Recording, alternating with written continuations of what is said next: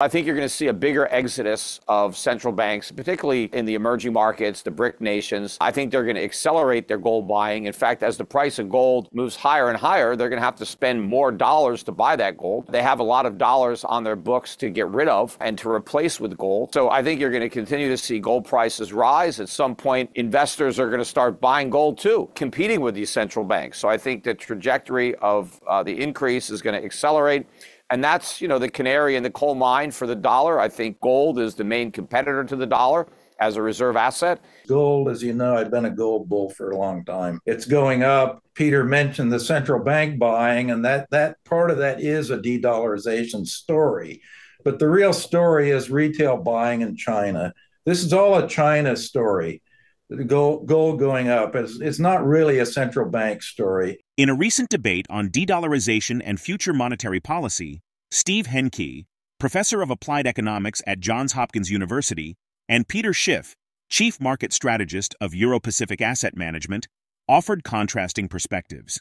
Amidst the de dollarization agenda, BRICS members India and Nigeria have agreed to conduct bilateral trade using local currencies rather than the US dollar, signifying a shift away from dollar dominance. Peter Schiff foresees a decrease in the dollar's value and anticipates that central banks, especially those in emerging markets like the BRICS nations, will ramp up their gold purchases. Schiff posits that investors will also buy gold as gold prices increase, thereby contributing to further price escalation. BRICS aims to challenge U.S. dollar dominance in the global economy, kickstarting the de-dollarization agenda. Central banks actively diversify their reserves by accumulating substantial quantities of gold diminishing their dependence on the dollar. This trend is contributing to record high gold prices. Contrary to Schiff's view, Steve Hanke acknowledges the decline in the dollar's reserve status, but emphasizes its ongoing strength, nearing historic highs.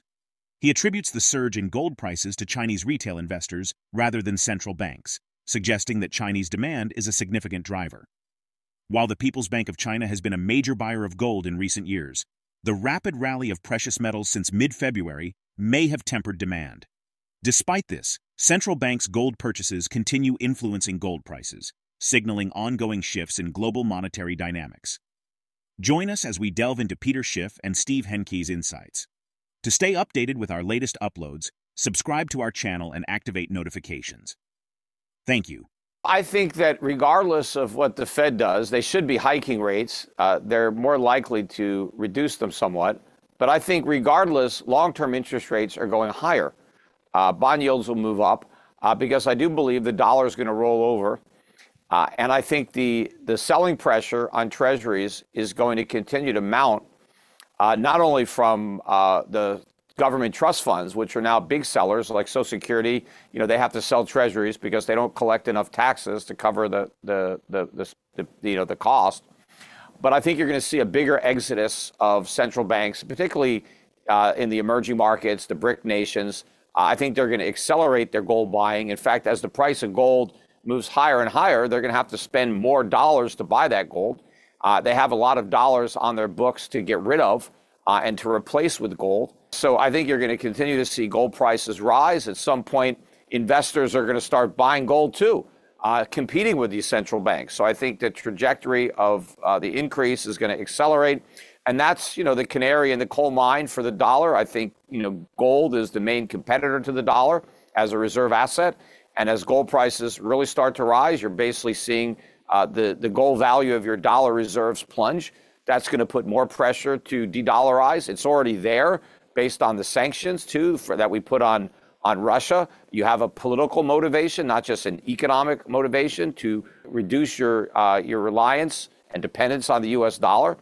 Uh, so I think the dollar is going down. I think bond yields are rising. I think the price of gold is going up. This is also going to be very problematic for the U.S. economy because higher interest rates and higher inflation are going to be a big problem that are going to exacerbate the severity of the next recession, which of course the Fed is going to try to fight by going back to its uh, monetary playbook of creating more inflation. Because you have to understand the way the Fed fights recession is by creating inflation. That's what it does. You know, it creates inflation. But when you have an inflationary recession, when inflation is the cause of the recession, how are you going to fix that you know, with more inflation. It's it's not going to work. It's going to backfire. It's very close to its all-time high on, on the weighted average. It's been very strong for quite some time. If you read the press and listen to what's in the press, all they talk about is de-dollarization and the fact that the reserve status of the dollar has been shrinking, which it has, by the way.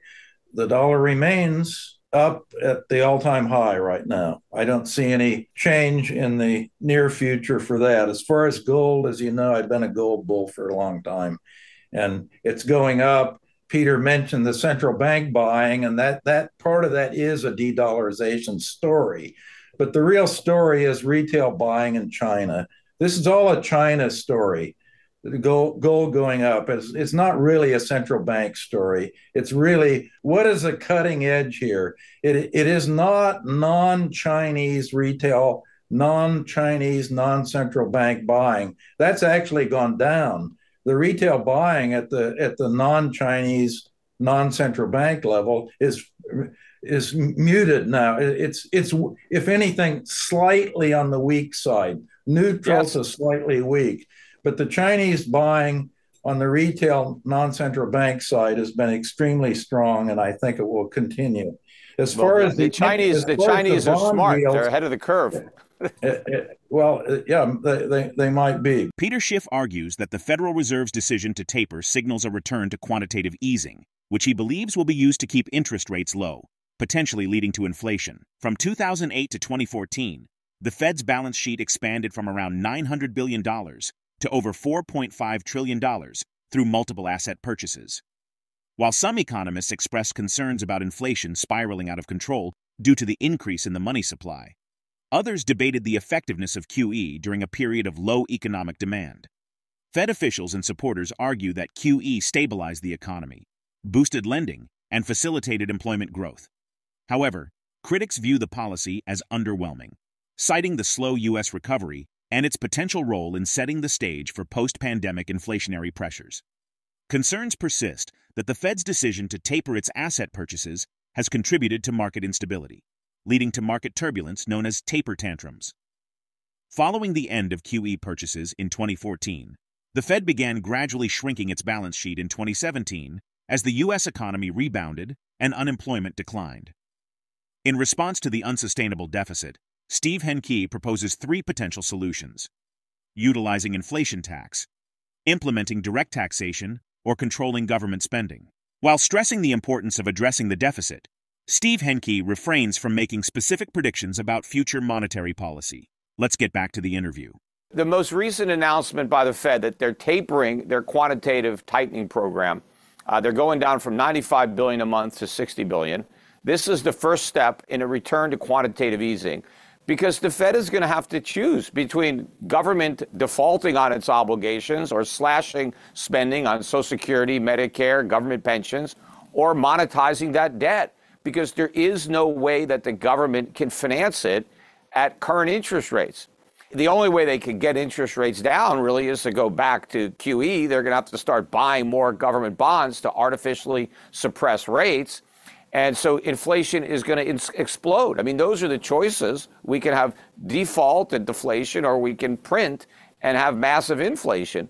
But from a political perspective, I think that's the only viable choice that the Fed is going to make. And even if Powell didn't want to make it, he's going to be under tremendous pressure to make it uh, by the Biden administration or whatever administration. Uh, even the Trump administration you know, they, you know, would, would, would do that. Nobody wants Uh, to see you know government spending you know cut dramatically. Nobody wants the U.S. to have to honestly default on on its debt. Could they just so raise taxes, Peter? Monetize it. We're couldn't they just raise ta- Couldn't they just raise taxes, Peter? On who? I mean, if, if they raise taxes on the rich who are already paying a tremendous amount of taxes, I don't know how much additional revenue they're likely to get. In fact, they may even lose revenue depending on how they do it. What we need is consumption based taxes uh, like a national sales tax or a higher payroll tax. But no one's going to vote for that. I mean, no one's going to tax the middle class, and the middle class is already broke. Uh, people have no savings, they're maxed out on credit card debt, uh, and they're working two or three jobs. How are you going to tell middle class voters that on top of all this pain, we're going to significantly raise your taxes? I mean, it's just, it just politically, it's a non starter. So the, the, the path of least resistance is to print, right? And then they're going to blame the inflation on somebody else, right? Speculators, greedy businessmen, Putin, OPEC. I mean, they always point fingers because they've redefined inflation as rising prices. And so the government doesn't ri- raise prices. They point to all the people who are raising prices and they blame them for the inflation. We can talk about possible scenarios, but I, I'm not in the crystal ball business. If we have an unsustainable deficit right now any everyone concludes this even the nonpartisan congressional budget office concludes this is not sustainable. We we cannot continue with the current structure that we have right now. So how do you change that?